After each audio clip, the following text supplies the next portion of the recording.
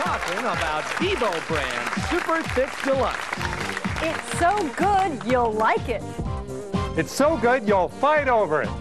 It's so good, you'll say no thanks to fudge sauce. Yes, people are talking. It's so good, you'll swear it's been fermented in a camel's bladder. It's so good, you'll belch like a Chinaman.